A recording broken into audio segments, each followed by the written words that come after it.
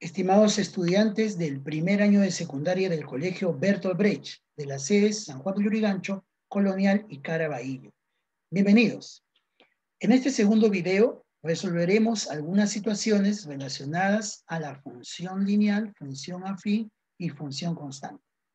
Iniciemos. Esta primera situación lleva por título El buceo, un deporte que exige mucha resistencia en la respiración. La profundidad recomendada para el buceo recreativo es generalmente 130 pies. Más allá de esa profundidad, los buzos necesitan entrenamiento y equipo especial que los, mantenga, mantengan a salvo de los efectos de la presión. Si un buzo saltó desde un bote al océano y su descenso cambia a un ritmo constante de dos pies por segundo, si el buzo es respetuoso de la profundidad recomendada para el buceo recreativo, Pregunta, ¿en cuánto tiempo alcanza su máximo descenso? Grafica la función que corresponde a dicha trayectoria.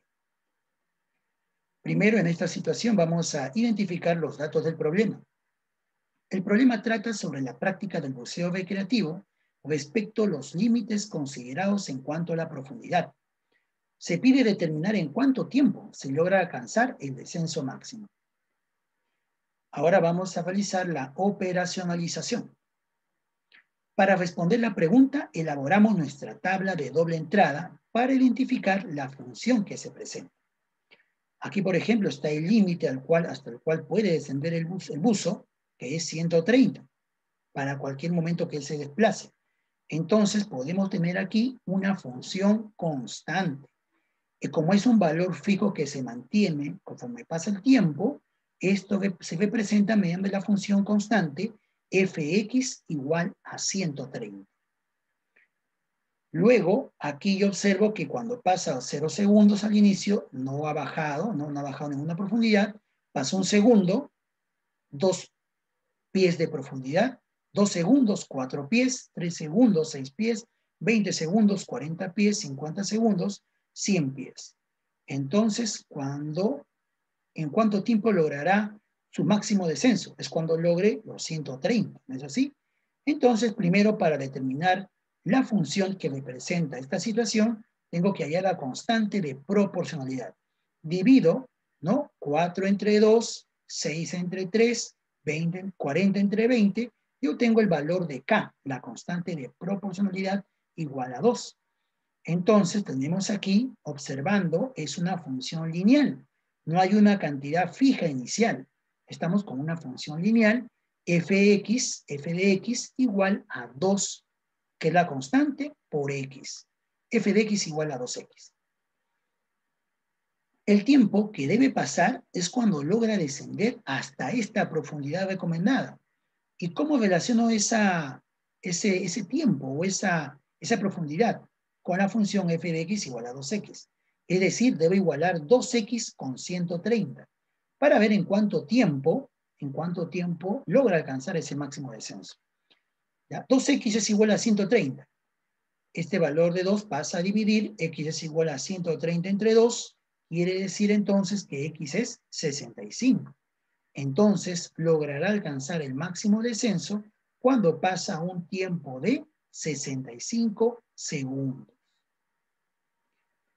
También podemos graficar la función que corresponde a dicha trayectoria. Aquí tenemos el plano cartesiano, el tiempo que pasa y la profundidad. Esta línea representa a la función constante. Para todo, para cada segundo, siempre hay una profundidad máxima que puede alcanzar, ¿no? respetando las normas. Es 130, es la función constante. Recuerda que siempre la función constante, su gráfica es una línea recta paralela al eje X, al eje X que se encuentra aquí. Luego vamos a también analizar la función lineal que representa la profundidad en cuanto al tiempo para el bus. f de x es igual a 2x. Observamos que cuando la profundidad es 130 de, desde descenso, el tiempo que ha pasado es 65, 65 segundos. Entonces podemos responder que el descenso máximo que puede alcanzar el buzo es 130 pies. Y esto se logra cuando pasan 65, 65 segundos. Ahora veamos otra situación. Alquiler de taxi, una forma de sustento económico en las familias. El señor Jorge tiene su automóvil, que él mismo usaba para hacer servicio de taxi. Desde que cayó delicado de salud, decidió alquilar su auto, pero tiene que encontrar una persona responsable y que quisiera trabajar de manera permanente en el tiempo, por lo que decidió hacer el anuncio en la puerta de su casa y en las redes sociales, que decía, alquilo taxi a persona responsable, pago único de garantía 100 soles y pago diario 45 soles. No pierda esta oportunidad.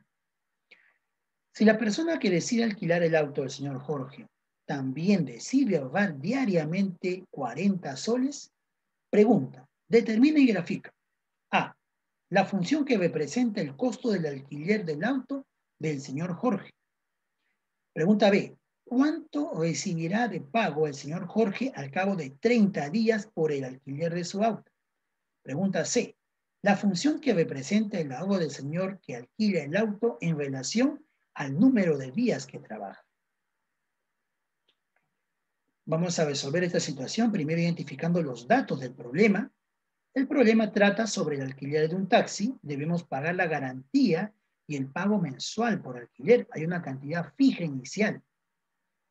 La garantía del alquiler es 100 soles. El pago diario es 45 soles. Debemos determinar las funciones a partir de las tablas de doble entrada y luego realizamos las gráficas correspondientes.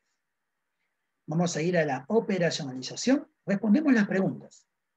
A. Determinar y graficar la función que representa el costo del alquiler del auto del señor Jorge. Aquí elaboramos la tabla de doble entrada, días alquiler. ¿No? Cuando iniciamos hay un pago fijo inicial que se tiene que depositar, que es 100 soles como garantía, y luego, según los días que se trabaje, hay un pago que se tiene que realizar por alquiler. Entonces, cuando si pasa un día, el monto total que pagaría sería los 100 soles más 45, que es el pago por el alquiler. Si hubiese trabajado dos días, tendría que pagar 100 soles la garantía más 2 por 45. Sería 190 soles. Si pasan 5 días, la garantía es 100 más 5 por 45, 325. Y así. Entonces observamos aquí que es una función afín. ¿no? Tiene la forma, hay una cantidad fija inicial que es 100, más 45 por x. La función afín es f de x igual a 45x más 100. Respuesta, observamos que la función que representa el costo del alquiler del auto es fx igual a 45x más 100. ¿Cuánto recibirá de pago el señor Jorge al cabo de 30 días por el alquiler de su auto? Bien, para poder saber justamente al cabo de 30 días cuál es el pago por el alquiler, vamos a elaborar el gráfico de la función, porque también nos piden el gráfico de la función del alquiler. Aquí tenemos el dinero que se va a pagar y los días que pasan. ¿no? Esta es una gráfica de una función afín. Recuerda, fx igual a 45x más 100. ¿Dónde está 100? Aquí, 0,100. Aquí se inicia la gráfica de esta función afín. Ahora nos piden determinar el pago al cabo de 30 días. Al cabo de 30 días, el pago es, como lo ves, es muy cercano a 1500, 1450 soles. Entonces respondemos, el señor Juan recibirá por el alquiler de su auto al cabo de 30 días 1.450 soles. También lo podemos obtener reemplazando aquí en la función afín. 45 por 30 es 1350 más 100, 1450.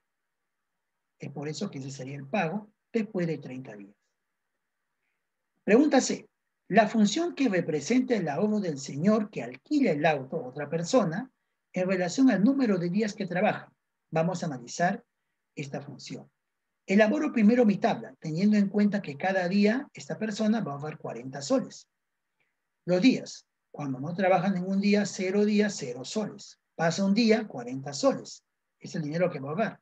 Dos días, 80 soles. Tres días, 120. 5 días 200, 20 días 800, 50 días 2000. Primero debemos hallar la constante de proporcionalidad. 200, 2000 entre 50, 40. 120 entre 3, 40.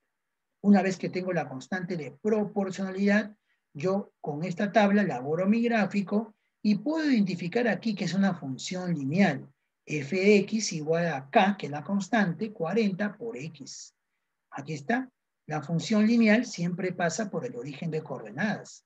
Aquí tenemos a los días y aquí tenemos al ahorro que va a obtener esta persona. La pregunta es, ¿no? La función que representa este ahorro. Esta sería la función. Respondemos, la función que representa el ahorro del, al alquiler del auto es fx igual a 40x. Pasa por el origen de coordenadas. Muy bien, en este segundo video hemos resuelto dos situaciones relacionadas a una función lineal, una función afín y una función constante. Nos vemos en el siguiente video. Gracias por tu atención.